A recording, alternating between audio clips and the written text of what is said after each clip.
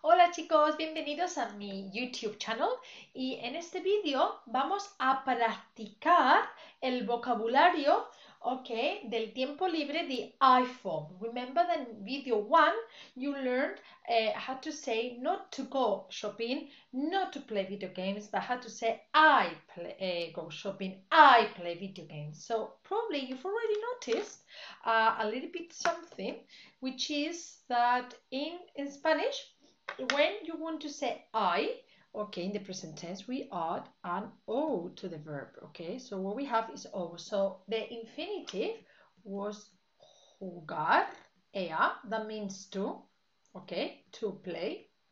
And to say I play, what we do, we take off the ea bit and we just add O. Think about it. Leo, the infinitive was leer.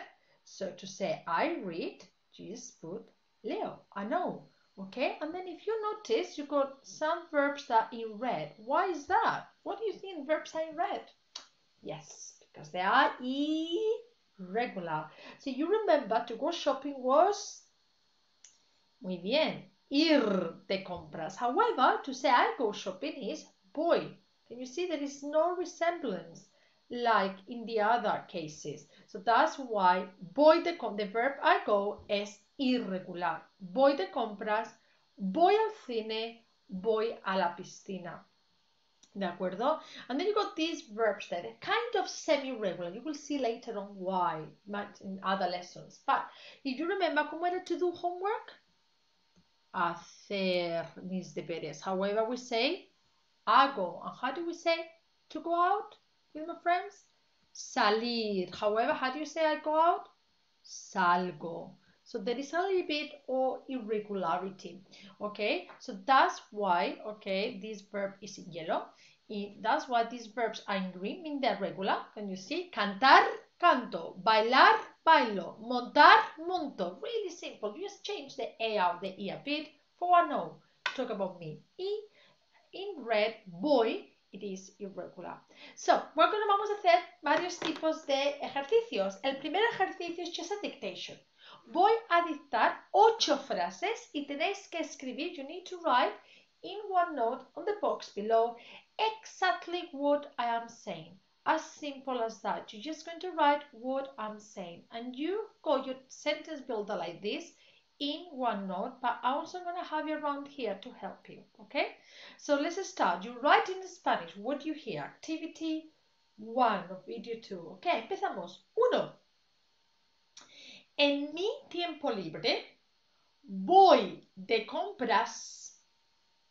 Repito, en mi tiempo libre voy de compras.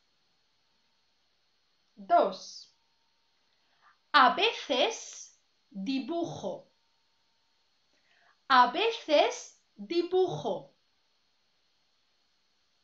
Tres. Todos los días hago los deberes. Todos los días hago los deberes. Cuatro. Nunca canto porque no se me da bien. Nunca canto porque no se me da bien. Cinco. Nunca toco la guitarra porque no me gusta. Nunca toco la guitarra porque no me gusta. 6. Los fines de semana salgo con mis amigos. Los fines de semana salgo con mis amigos. 7. A veces leo porque me hace sentir bien. A veces leo porque me hace sentir bien. Y ocho.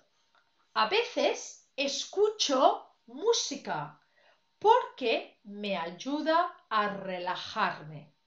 A veces escucho música porque me ayuda a relajarme. Excelente. Ahora vamos a hacer Ok, actividad 2. Video 2, activity 2. Aquí lo que vais a hacer es que vais a traducir en inglés. You're going to translate into English, okay? So I'm going to say the sentence and now you're not going to write in Spanish, you're going to write in English, ¿de acuerdo? You're going to be writing in English. Empezamos. Uno. Toco la guitarra porque me gusta y me hace sentir bien. Dos. Voy al cine con mis amigos los fines de semana. 3. A veces salgo con mis amigos a Cambridge. 4. Nunca dibujo porque no me gusta. 5. A veces monto a caballo porque es divertido. 6. Por la noche hago los deberes, pero no me gusta. 7. De vez en cuando juego con videojuegos porque es divertido. Y 8. Voy a la piscina y nado con mis amigos. Hopefully you wrote in English, okay, what um, uh, what I've just said. ¿De acuerdo, chicos? Excelente. Next activity will be to learn this vocab with memorize. Okay, adiós.